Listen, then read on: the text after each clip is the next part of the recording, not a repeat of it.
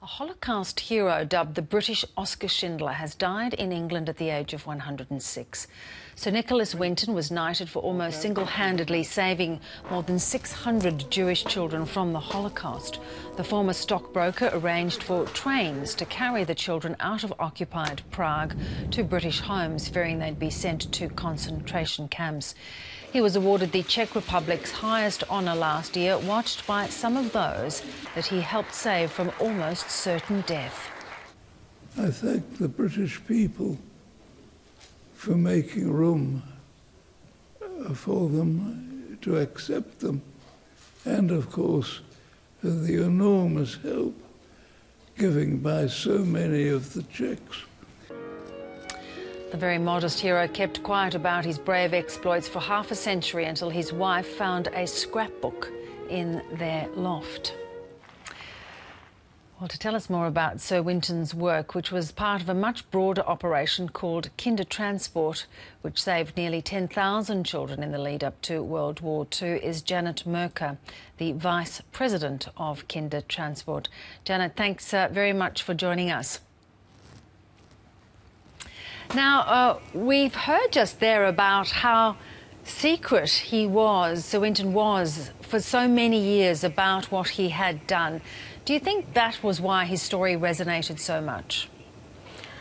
He was a, a very modest person um, throughout his life. He even thought what he did was not remarkable. And I think to people with compassion, they, this sort of story resonates with them. Tell us a little bit about his legacy and what he actually did. And of course, as I mentioned, it was part of a broader campaign. His, his legacy was that he saved not only 669 children, most of them were Jewish, but not all were Jewish. But it's the estimated, in the Kindertransport, we estimate 70,000 people are alive today because of the Kindertransport. Had nothing happened, then those people, including myself, would not be, not be here. But as well, it was a large humanitarian act done before World War II to save Jewish children. And was it his idea, or were there many people doing similar things around Europe? There were many people doing things in Vienna, in Germany, but the great force also came from the British people themselves. They wanted to help these children. And he was the pivotal part of the Czech rescue. He had workers in Czechoslovakia as well as, as Britain helping to find foster families to raise 50 pounds to uh, secure these children a visa and so on and so on. The YMCA were involved, the Quakers, the Christians, uh, many members of British Parliament, as well, of course, uh, many Jewish organisations. So it was a very big, big concern. You mentioned your personal connection, that you yourself would not have been here if it had not been for Kindertransport. Tell us about your personal uh, connections.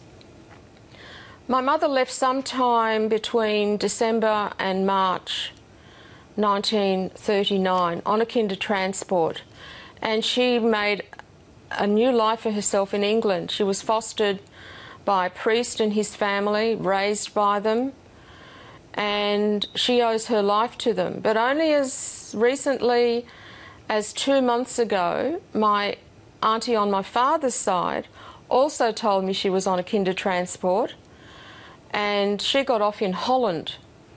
Most of the children who got off in Holland perished, we think. Somehow she was survived and was eventually taken to Paris where she was hidden. So I have two members of my family that were involved in the Kindertransport scheme. What does it do to continue the legacy now in 2015? It needs to remind the world that children should not be a part of war. And even Nicholas Winton wore every day a bracelet which some of the kinder gave him. And I think we need to remember those words and live by those words. And that is To save one child, you save the world. Which is, uh, resonates so strongly when we look at some of these terrible tragedies happening around the world today involving young children. That's right, they are not at fault and they should um, have the freedom to live their lives as fully as my mother did. She lived her life in a land of freedom and she owes her life to the British people that took her in.